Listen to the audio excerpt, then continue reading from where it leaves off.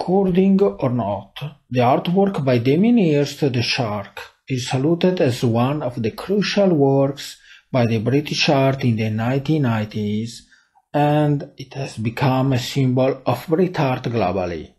A sort of provocation, but at the same time a note taken from our contemporaneity, mixing together elements from culture, popular life, art, media and science.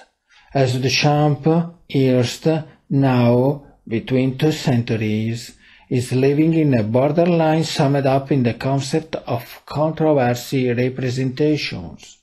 In the video, in a compressed time, it's possible to display the preparation of his creation, the shark, for an exhibition. A possible meaning could be how we interact with nature in the planet.